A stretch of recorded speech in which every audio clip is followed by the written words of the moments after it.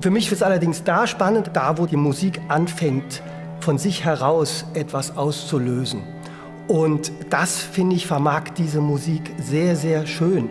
Und ähm, insofern ähm, bin ich großer Fan davon, sich entführen zu lassen in die Hörlandschaften, die sich dann einstellen, wenn man das Stück erlebt.